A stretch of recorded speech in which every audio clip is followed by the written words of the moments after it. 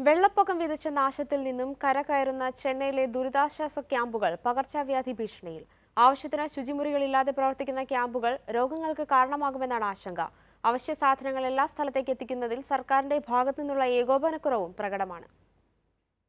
ചെന്നൈയിൽ ശ്രദ്ധ ശുദ്ധീകരണത്തിലേക്കും മെഡിക്കൽ ക്യാമ്പുകളിലേക്കും തിരിഞ്ഞെങ്കിലും ലക്ഷക്കണക്കിന് ആളുകൾ താമസിക്കുന്ന ദുരിതാശ്വാസ ക്യാമ്പുകൾ തന്നെ പകർച്ചവ്യാധിയുടെ കേന്ദ്രമാകുന്ന സ്ഥിതിയാണ്.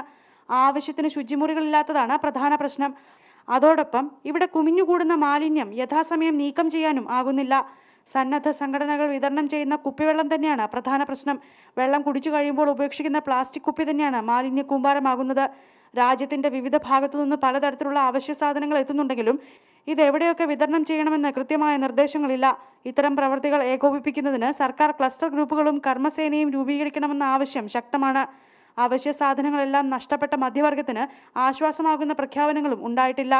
ശുചീകരണവും രോഗപ്രതിരോധവും ഫലപ്രദമായ ശേഷം തകർന്ന റോഡുകളും മറ്റു പൊതുവിടങ്ങളും നന്നാക്കുക എന്ന ഭാരിച്ച ഉത്തരവാദിത്വവും സർക്കാരിന് മുന്നിലുണ്ട്. ചെന്നൈയുടെ പുനർനിർമ്മാണം വർഷങ്ങൾ എടുത്തേക്കാം. ഈ ശ്രമകരമായ ദൗത്യത്തിനിടയിൽ പകർച്ചവ്യാധികൾ പോലുള്ള ദുരന്തങ്ങൾ വരാതെ നോക്കേണ്ടത് വളരെ അത്യാവശ്യമാണ്. നന്തമ്പാക്കത്തു നിന്നും വിനോദ് കുമാറിനൊപ്പം അഖില പ്രേമചന്ദ്രൻ ഏഷ്യാനെറ്റ് ന്യൂസ്.